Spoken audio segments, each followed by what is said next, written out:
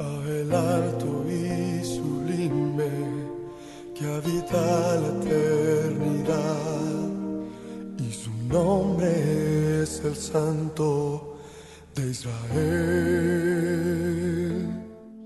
Estás escuchando Radio Luz a las Naciones, tu emisora cristiana. Y en la santidad Bienvenido al programa El Señor es salvación. de, de espíritu. Un estudio detallado y profundo del libro del profeta Isaías por Loel Bruckner. El espíritu humilde. Isaías, El Señor es salvación. El corazón quebrantado. Todo un legado para la humanidad, probablemente la mayor evidencia de la veracidad de la palabra de Dios. Porque el testimonio de Jesús es el espíritu de la profecía. El Señor es salvación. Un mensaje que necesitas oír si quieres conocer más a Jesucristo. por los siglos. Sintonízanos todas las semanas en Radio Luz a las Naciones. La voz de salvación a tu corazón.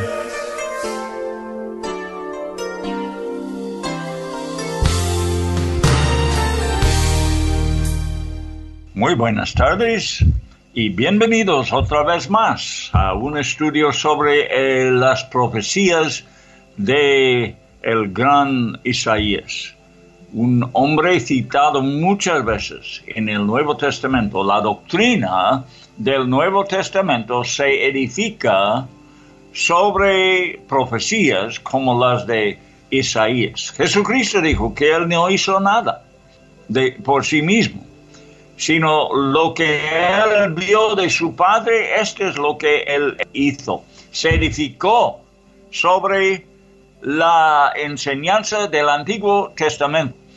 Y no hay nada en el Nuevo Testamento que tú no hallarás en el Antiguo Testamento y además no vas a poder entender bien el Nuevo Testamento a menos que te metas en el Antiguo Testamento.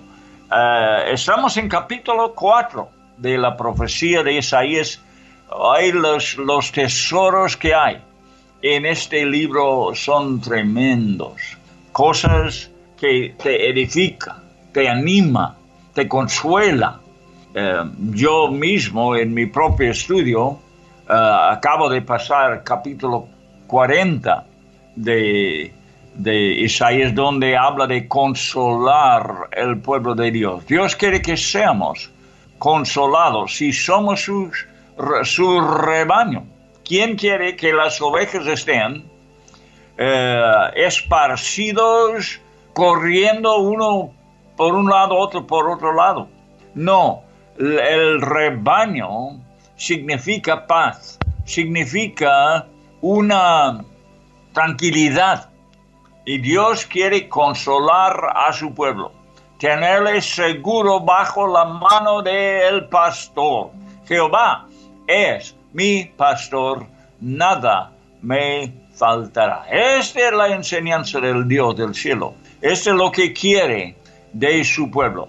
Bien, la vez pasada estuvimos hablando en capítulo 4 de, o habíamos terminado diciendo que lo que puedas captar de la palabra de Dios. Y, y yo, ni yo ni tú, vamos a poder captar todo. Por eso yo leo de otros, porque yo quiero aprender de lo que ellos han visto en la palabra de Dios. Yo leo libros con este propósito, porque yo no capto todo, yo quiero leer de lo que otros han captado. ¿Por qué? Porque es mi pasión, es mi anhelo saber de Dios y las cosas de Dios que me edifica, que me consuela. Lo que tú puedes captar de la palabra de Dios enamorará tu corazón con el Dios de la palabra, porque su palabra es una revelación de cómo es Dios. Y lo que tú puedes captar enamorará tu corazón. Y lo que no puedes captar, lo decimos la vez pasada, y escúcheme bien, lo que no puedes captar servirá para provocar una oración en el espíritu. O sea, empezamos a adorar donde ya no podemos cuando nos enfrentamos con alguien que nuestra mente no es suficiente para comprenderle. Más allá de nuestro entendimiento es nuestro Dios. ¿Y qué podemos hacer entonces? Cuando hallamos cosas en Dios que no podemos entender, le adoremos, le vamos a adorar. Esto provoca una adoración. Déjeme decir que la adoración no es el mismo que la alabanza. La alabanza es el fruto de nuestros labios. La adoración no necesita nuestros labios. La adoración podemos hacer en silencio. En la adoración nuestro corazón se rebosa. No sabe cómo expresarse. Como no podemos comprender, tampoco podemos expresar lo que hay en nuestro corazón para Dios. Y entonces en silencio meditamos, en silencio adoramos. ¿Cómo lo hacemos? Lo hacemos postrado. La misma palabra adoración que tenemos en español quiere decir, literalmente en el hebreo quiere decir postrarse. Postrarse. Sea, la adoración nunca se hace de pie, con las manos alzadas. Esta no es adoración según la Biblia. Debemos, eh, debemos entender eso. La adoración se hace postrado y no es necesario palabras. Algunas de las canciones expresan eso. Que él, eh, cuando se acaban las palabras, donde ya no hay palabras, expresamos lo que podamos con palabras en la alabanza. Pero la adoración empieza donde las palabras se acaban. Escucha otra vez. Yo quisiera leerlo otra vez, como lo hice la vez pasada. Las líneas, el texto, la letra de una canción muy bonita. Escucha. Eres hermoso, más allá de toda descripción. ¿Ves? Es imposible describirle demasiado maravilloso para las palabras. ¿Estás viendo lo que es la adoración? Demasiado asombroso para la comprensión, como nada jamás visto o escuchado. Es decir, no hay con qué compararle, porque no hay nada jamás visto o escuchado como es como el que hacemos, adoramos. Bueno, sigo leyendo. ¿Quién puede captar tu sabiduría infinita? ¿Quién puede sondear la profundidad de tu amor? La majestad eres tú, entronada en el cielo. Y estoy, dice la estrella, estoy asombrado de ti. Estoy, estoy asombrado de ti. Dios santo, a quien pertenece toda la alabanza estoy asombrado. Será la hermosura de su Cristo lo que transformará a Israel. El retoño llevará fruto y será cegado de la tierra para la gloria de Dios. Mira, nosotros vamos a aprender de Israel. Isaías es un profeta para Israel y por medio de este profeta, que fue, que habló a su pueblo Israel, nosotros, los, los que no somos de Israel, vamos a aprender nuestra doctrina. Vamos a aprender cómo es Dios viendo cómo trata a su pueblo Israel. El retoño. Se habla de un retoño en este pasaje. Un retoño que sale del tronco viejo. ¿Qué, ¿De qué habla eso? Esperanza, una renovación. Cuando somos decaídos, cuando estamos cortados y sentimos lejos de Dios, tenemos la promesa de un retoño. Amigo mío que no ha conocido a tu Dios, a tu Creador, estás lejos de Él. Este te da esperanza. El Dios es el Dios de toda esperanza. Retoña de nuevo lo que fue cortado. El retoño llevará fruto. Ah, no solamente retoña, no solamente crece, pero llevará fruto otra vez. Y será segado de la tierra para la gloria de Dios. Les quitó todo el adorno de las hijas de Sión. La hemos leído en veces pasadas, aquí en, en, Isaías capítulo 3, ¿verdad? Pero el remanente, se habla de remanente, los que vuelven, los que restan, nunca se acaba. Hay siempre un retoño, hay siempre un remanente. El remanente restaurará el orgullo nacional y será adornado con la santidad. Estamos en versículo 3. Y acontecerá que el que quedare en Sión y el que fuere dejado en Jerusalén, es un remanente, será llamado santo. Todos los que en Jerusalén estén registrados entre los vivientes. Estamos, o acabamos de leer Isaías capítulo 4, versículo 3. Allí estamos y ahí hemos llegado en nuestro estudio. Estos han sido elegidos y sus nombres son hallados en el libro de vida. También están registrados entre los verdaderos israelitas. De alguna manera, los antiguos registros serán descubiertos otra vez.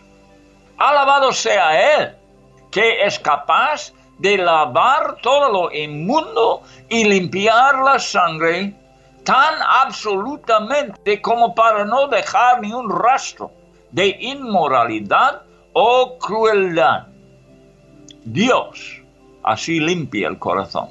Así ha limpiado a su pueblo Israel, así lo hará con cada persona que cree y confía en Él. He titulado un artículo anterior, tomado del capítulo 1, La restauración por medio del juicio. Y aquí vemos otra vez el poder redentor del juicio. En el versículo 4. Vamos a leer versículo 4 ahora. En nuestro estudio de este gran libro de Isaías. Cuando el Señor lave los inmundicias de las hijas de Sión y limpie la sangre de Jerusalén de en medio de ella, con espíritu de juicio, ¿ves? Y con espíritu de devastación. Todo lo que hace Dios tiene propósito. No solamente castiga, castiga con propósito para limpiar. Es la restauración que viene por medio del juicio. Y lo vemos aquí otra vez. Con espíritu de juicio, dice, y con espíritu de devastación. La devastación aquí se refiere a lo que queda después de haber pasado el fuego consumidor. Ninguna impureza, ningún insecto o microbio puede resistir al fuego. Las tormentas pueden arrancar los árboles, transportar objetos lejos de sus orígenes, torcerlos y deformarlos, pero el fuego no dejará nada más que ceniza después de él. Ningún crimen podrá ser perdonado y ninguna ofensa quedará sin castigo. El juicio de Dios cae y su nombre justo es vindicado. Él ha pronunciado la sentencia y la sentencia ha caído. Solamente de esta manera Israel será restaurado por el juicio y el fuego del Espíritu Santo. Y amigo, es igual en el Nuevo Testamento. No vayas a creer alguna doctrina hoy en día falso, falsa, una doctrina torcida que dice como Dios es amor, solamente te diga te perdona y se acaba todo. Esto es una mentira. El juicio tiene que caer, siempre. El pecado tiene que ser castigado. Y esto es maravilloso para el cristiano porque uno apunta hacia la cruz. Y la cruz demuestra el juicio de Dios. ¿Sobre quién? Sobre su propio Hijo amado. Y nosotros miramos esa escena y somos asombrados que Dios lo haría. Pero ¿qué está haciendo? Está demostrando su juicio. Y por medio de este juicio, nosotros somos limpiados, perdonados.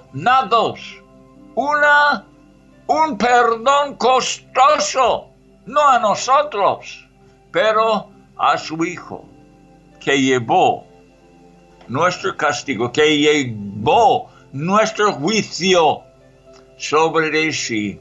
Digo, esta es la una doctrina maravillosa del Evangelio de Jesucristo que Dios no tenía que comprometer para nada su justicia. Dios no tenía que pasar por alto nada de lo que ofenda, ofende a su santidad. Trató con todo en la cruz. Y ahí es donde tenemos nosotros nuestro perdón. Ahí es donde se demuestra a nosotros su amor por la humanidad. Y solamente de esta manera Israel fue restaurado por el juicio y el fuego que consumió todo lo malo, todo lo corrupto, todos los insectos del pecado fueron destruidos allí. Desde el tronco retoña el renuevo. Gracias a Dios. Desde la ceniza salta la hermosura. Esta es la manera en que Dios obra. El espíritu de juicio y la devastación por medio del fuego fue el prototipo de un juicio que vendría cuando la ira de Dios cayera sobre el monte Calvario y su Hijo fuera ofrecido en sacrificio. La llama de ese holocausto subió al trono de Dios y su olor grato entró en la nariz del juez celestial, aplacando así su ira y satisfaciendo la justicia para siempre. Esto fue, este fue el momento en el que la devastación fue transformada en protección. Una nube, una llama de gloria, como un dosel sobre su pueblo de día y de noche. Vea versículo 5. Y creerá Jehová sobre toda la morada del monte de Sión y sobre los lugares de sus convocaciones, nube y oscuridad de día y de noche resplandor de fuego, que eche llamas, porque sobre toda gloria habrá un dosel. En el Nuevo Testamento, capítulo 1 de Juan, versículo 14, dice, el verbo fue hecho carne y habitaba, dice, en el reino Valera. Pero la palabra griega fue tabernaculizó. Tenía que crear un nuevo verbo para describir lo que hizo Jesús, porque era la única manera de explicarlo. Inventar una palabra para describirlo. Tabernaculizó, no lo hallarás en el diccionario. En el diccionario griego sí. Griego, en lugar de habitar, tabernaculizó entre nosotros. Él fue el verdadero propiciatorio que cubría el arca que contenía los diez mandamientos. ¿Dónde? En el tabernáculo. En el tabernáculo, en, el, el departamento o el compartimento santísimo, el lugar santísimo, estaba el arca que contenía los diez mandamientos. Y sobre esto estaba cubierto con lo que se llamaba un propiciatorio. Un propiciatorio literalmente es algo que, ah, que calma la ira de Dios para que Dios nos trata con misericordia. Cuando el publicano dijo, ten propicio de mí, ¿qué estaba diciendo? No me trates con tu ira, por favor, sino con tu misericordia. Ay, amigo, la ira de Dios es real y caerá sobre nosotros si no hay un sacrificio para aplacar esa ira. Y este sacrificio fue Jesús. Así que había un propiciatorio sobre los diez mandamientos que todos hemos quebrantado.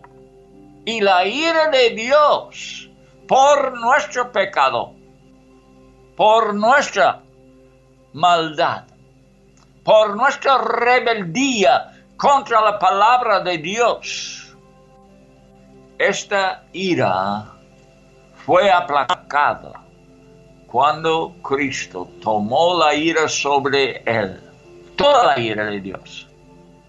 Y nosotros ya somos tratados con misericordia. Se necesitaba un propiciatorio sobre el arca.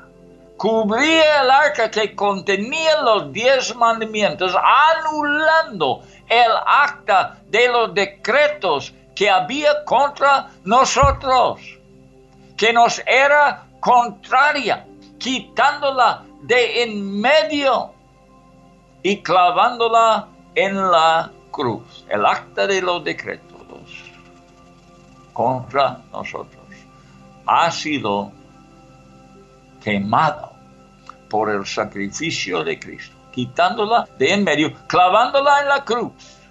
Colosenses 2.14. Esta es la segunda vez que la profecía de Isaías llega hasta el milenio.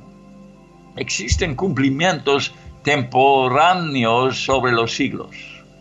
Una vez, uno fue el regreso de los judíos de Babilonia, que era futuro para Isaías, ahora está mucho muy en el pasado. Otro fue el regreso de los judíos a Israel a principios del siglo XX. Ah, siglo XX estoy diciendo. La primera vez desde la destrucción por el general Tito, el general romano en 70 después de Cristo, el año 70. Por primera vez en el siglo XX, desde entonces, los judíos volvieron a su patria, a Israel. Así la historia se ha ido repitiendo, esperando un cumplimiento final. Ves que las profecías tienen varios cumplimientos, muchas veces siempre más perfectas. Cuando la tercera parte de Israel sobrevivirá a un asalto futuro contra Jerusalén. La ofrenda del Mesías, a la que se refiere Isaías, avala a Israel hasta el fin. Después de aquel juicio, Cristo vendrá como su protector como un refugio contra todos los ataques perpetrados contra el pueblo de Dios. Leeremos versículo 6, el último versículo del capítulo 4. Y habrá un abrigo para sombra contra el calor del día, para refugio y escondedero contra el turbión y contra el aguacero. Protección. Dice en el Salmo, Salmo, un gran Salmo, 91. Si lo quieres ver, está en versículo 1, 2, 5 y 9. Ojalá que apuntes este versículo para estudiarlo. Debemos meditar en estas cosas, debemos captar lo que podamos. Debe ver este anhelo en nuestro corazón, acercarnos a Dios por medio de su palabra. Es la única forma. No hay una forma fuera de la palabra para acercarse a Dios, siendo renacidos por la palabra de Dios, que vive para siempre. Dice en Salmo 91, hablando de esta protección, ves un abrigo para sombra contra el calor del día, para refugio y escondedero contra el turbión y contra el aguacero. Dicen Isaías en Salmo, otra vez, es 91, capítulo 91, versículo 1, 2, 5 y 9. Ojalá que lo podrá leer conmigo, pero si no, después, estudiarlo, apuntarlo, para que puedas estudiar después. Dice, el que habita al abrigo, aquí está hablando de abrigo, el salmista habla de lo mismo, del Altísimo, morará bajo la sombra del Omnipotente. ¿Qué cosa? ¿Qué cosa es habitar ahí? Bajo la protección del Altísimo, el Omnipotente. ¿Qué seguridad nos promete, verdad? Diré yo a Jehová, esperanza mía y castilla mío, mi Dios, en quien confiaré. Hay más evangelio en este versículo. Lo que acabamos de leer, que se encuentra en, en muchas otras partes, es un evangelio. Protección, buenas nuevas, esperanza, castillo ¿En quién confiaré? Esa es la cosa, confiar, creer. Confiar y creer lo mismo. El que cree en mí, el que confía en mí, tiene esperanza, tiene un castillo, tiene protección eterno. No temerás. Versículo ahora, adelante, 5. No temerás el terror nocturno ni saeta que vuele de día. Y el último versículo 9, porque has puesto a Jehová, que es mi esperanza, dice el salmista, al Altísimo por tu habitación.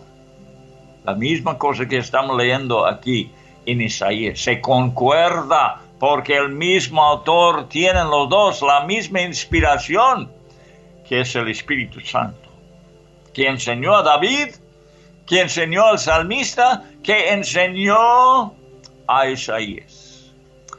Seguimos adelante, capítulo 5. No es una riqueza para el cristiano, para el rebaño del Señor, conocer de su pastor, poder andar bajo su sombra, estar guiado por él. Ay, amigo, si no lo conoces, esta seguridad. Si no conoces este Salvador, te estamos invitando. Hay oportunidad para ti. Si por algún modo has escuchado de este programa, o solamente por casualidad piensas tú, has afinado a esta emisora, lo estamos diciendo que esta fue una obra de Dios, no fue por casualidad.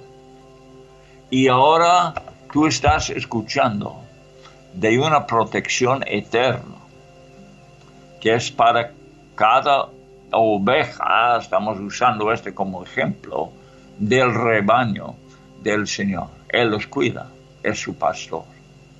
No pierda ninguno. Si uno se aleja, Él va por él. Hasta que lo haya, dice la Biblia, y lo regresa al rebaño. Vale, capítulo 5 ya. Vamos a leer versículo 1. Ahora cantaré. hay canciones en la Biblia. El cristiano tiene canciones en su corazón. Cada cristiano. Las canciones son parte de nuestra alabanza a Dios. Nos alegra la, canción. Ahora cantaré por mi amado, dice aquí. El cantó, el, el cantar de mi amado a su viña. Tenía mi amado una viña en una ladera fértil. Este mensaje es cantado por el profeta. Dios es el Dios de la canción. El amor íntimo entre Dios y su pueblo es el tema de la revelación de Dios en toda la Biblia. Isaías el profeta canta a su amado, que es la fuente de su inspiración en este Evangelio de Isaías. Juan, el discípulo amado, escribió el Evangelio de intimidad.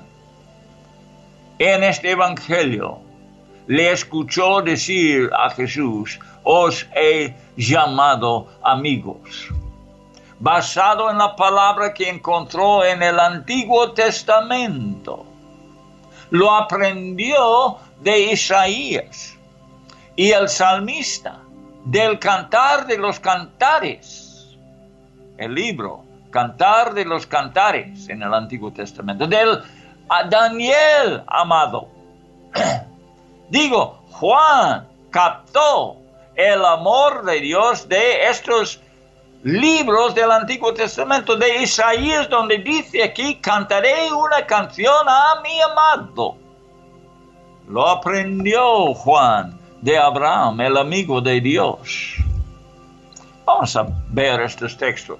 Yo quiero que estas cosas penetren el corazón. Y para eso muchas veces tenemos que tomar tiempo de leer estos versículos. No solamente hablar de ellos, pero ver cómo Dios trataba con esas personas amadas. En Daniel capítulo 9. Daniel capítulo 9. Vamos a leer. Versículo 23. Y que siempre os animo a hacer, apuntarlo. Si no puedes buscarlo conmigo, apúntelo para que lo veas después. Capítulo 9, versículo 23 al principio de tus ruegos, un ángel está hablando a Daniel. Él, al principio de tus ruegos, fue dada la orden y yo he venido para enseñártela, porque tú eres muy amado. Entiende pues la orden y entiende la visión. Tú eres muy amado. En capítulo 10, versículo 11. Y me dijo Daniel, varón muy amado, está atento a la palabra que te hablaré y ponte en pie porque a ti ha sido he sido enviado ahora. Mientras hablaba esto conmigo, me puse en pie temblando. Un amor que te hace temblar. Maravilloso, asombroso el amor de Dios. En versículo 19, y me dijo, muy amado, me llamó, muy amado, no temas, la paz sea contigo, esfuérzate y aliéntate. Y mientras él me hablaba, recobré las fuerzas y dije, hable mi Señor, porque me has fortalecido. Y tenemos esta relación de amor revelado en el Nuevo Testamento. Os he llamado amigos, escribió Juan de las palabras de Jesús a sus discípulos. Y no solamente aquellos, sino nosotros. Si hemos confiado en Cristo, si hemos entregado nuestra vida a Él, somos amados. Somos amigos. Qué asombroso es, es eso. No estamos hablando del amor de una madre, no estamos hablando de un amor natural, un amor de la tierra, estamos hablando de un amor eterno que nunca se acaba y que es más grande que cualquier otro amor que se puede describir. Es incomparable. Y este es el amor que por medio de Jesús nos llama a nosotros amigos. Era Abraham el amigo de Dios. En Isaías también volvemos a Isaías. Pero ahora capítulo 41, capítulo 41 de Isaías, versículo 8. Pero tú Israel, siervo mío eres. Tú Jacob, está hablando de toda la nación, a quien yo escogí, descendencia de Abraham, mi amigo. Dios tenía amistad con Abraham. No solamente le eligió por un propósito, le eligió para tener amistad con ese hombre. Y nosotros somos, los judíos eran, la descendencia de Abraham según la carne, pero Dios le prometió a Abraham que le haría padre de, de muchas naciones por la fe las personas que confían en Dios como Abraham confiaba en Dios, son descendientes de Abraham igual que los judíos, pero en el espíritu. Y Abraham fue amigo de Dios. Y de Moisés.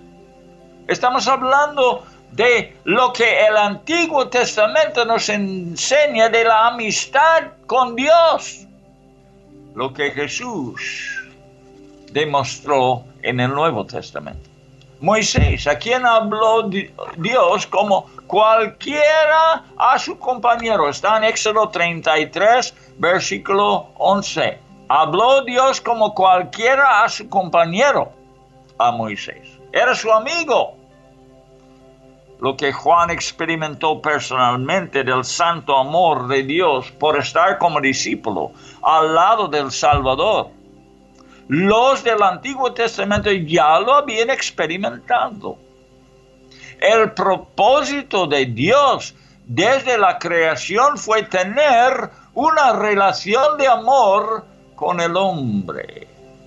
Isaías dice, cantaré a mi amor. Ahora cantaré por mi amado. Y está hablando de Dios. Su relación de amor con Dios.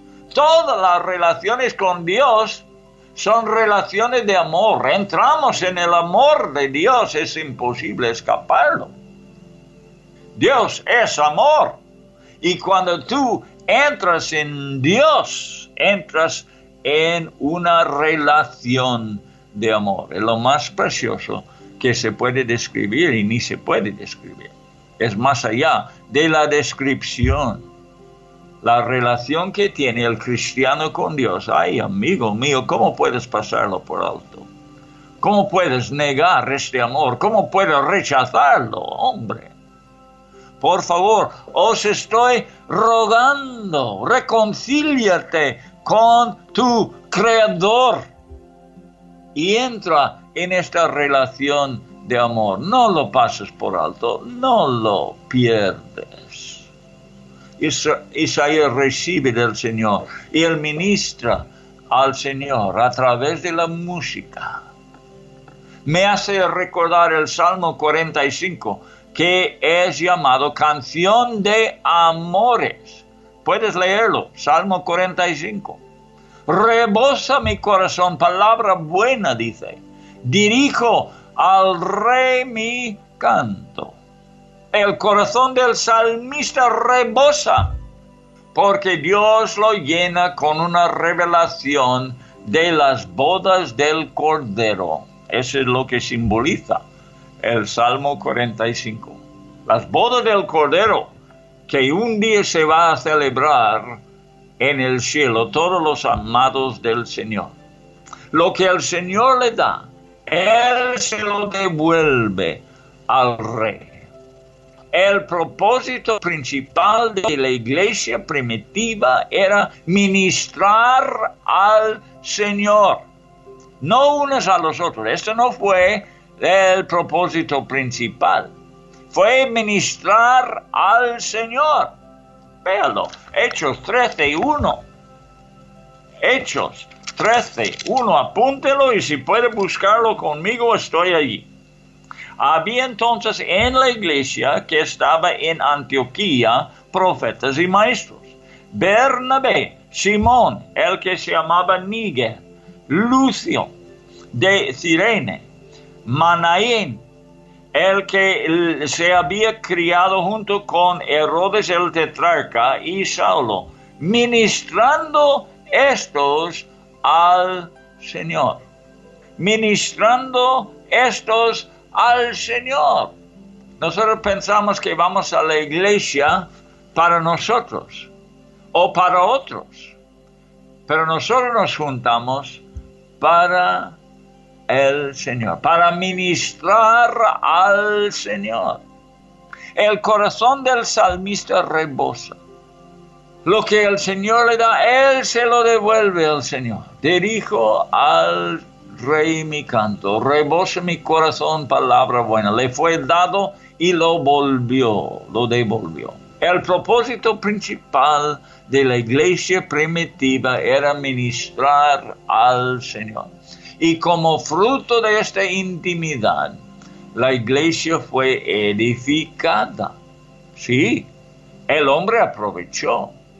Hubo beneficios para el hombre, pero el propósito fue ministrar al Señor.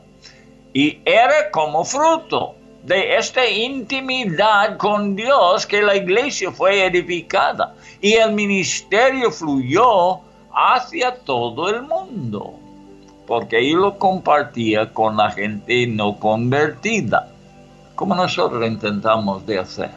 Queremos que el amor de Dios fluye por medio de nosotros, por lo que hemos recibido de beneficio de la gloria de Dios fluye hacia un mundo inconverso, atrayéndoles por medio del Espíritu Santo a los pies de Jesucristo.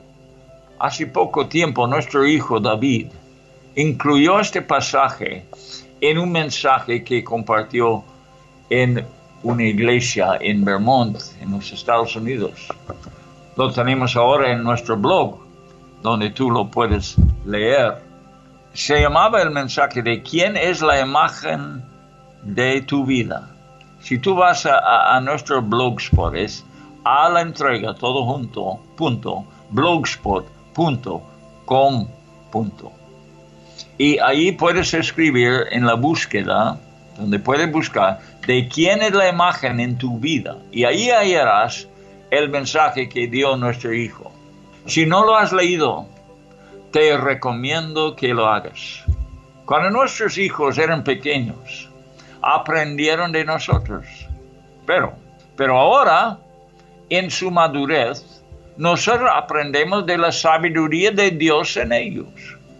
David vio que cuando Jesús dio una parábola a los principales sacerdotes, los escribas y ancianos sobre una viña, ellos sabían inmediatamente que les estaba acusando, porque conocían muy bien la palabra en Isaías capítulo 5, donde estamos ahora. Jesús, por supuesto, era un experto en la escritura del Antiguo Testamento. Por eso pudo decir que todo lo que él enseñaba estaba edificado sobre ella. Él dijo, mi doctrina no es mía, sino de aquel que me envió. Así que se encuentra en el Antiguo Testamento. Esto lo dijo en Juan capítulo 7, versículo 16. Apúntelo si puedas, si no lo puedes buscar en el momento. Mi doctrina no es mía, sino de aquel que me envió. El Evangelio en el Nuevo Testamento está completamente basado en la doctrina del Antiguo. El antiguo es de aquel que envió a su Hijo. Como en la palabra de Jesús, el amado reveló a Isaías su viña. eligió su sitio, la despedregó, la plantó, edificó una torre y un lagar. Estamos ahora en versículo 2, quizá lo debemos leer. La había cercado, todo, eh, eh, versículo 1 dice, dice, tenía mi amado una viña en una ladera fértil la había cercado y despedregado y plantado de vides escogidas, había edificado en medio de ella una torre y hecho también en ella un lagar, y esperaba que diese uvas, y dio uvas silvestres. Puedes comparar esto con Marcos capítulo 12, versículo 1, donde se encuentra esta conversación entre Jesús y los religiosos de su día. Puedes ver que es la misma viña y por eso los líderes de Jerusalén supieron exactamente de lo que estaba hablando Jesús cuando habló de una viña. Se sintieron muy indignados por su insinuación. Como Isaías aclaró en los versículos 3 y 7, ¿a quién se refería la viña? No pudieron equivocarse en la aplicación. Vean en Marcos 12, 1, un momento. Tenemos que apurarnos un poco, ¿no? Quiero, eh, quiero avanzar pues en el estudio. Pero pues si no tomamos un poco de tiempo explicando estas cosas, eh, no aprovechamos nada. así es que tenemos que tomar un poco de tiempo capítulo 12 de Marcos, versículo 1. Entonces comenzó Jesús a decirles por parábolas. Un hombre plantó una viña, la acercó de vallado, cavó un lagar, edificó una torre y la arrendó a unos labradores y se fue lejos. Está hablando de la misma viña que tenemos aquí en capítulo 5 de Isaías. Y ellos sabían de esto. Los judíos religiosos eran estudiados en la palabra, sabían de lo que Jesús estaba hablando. Y por eso, como estaba hablando a ellos, ellos sabían a quién se habla de este viña. Lo habían estudiado. Ellos sabían a quién se refería la viña y no pudieron equivocarse en la aplicación. Vamos a seguir hablando de esto en el siguiente programa, hablando de esta viña, de lo cual Isaías está presentando a su pueblo. Y vamos a ver a, qué, a quién se aplica esta palabra y qué podemos nosotros aprender de estas cosas. Mientras si busca en nuestro blogspot. Puedes tú leer lo que nuestro, nuestro hijo escribió sobre el asunto. Así puedes adelantarte un poco.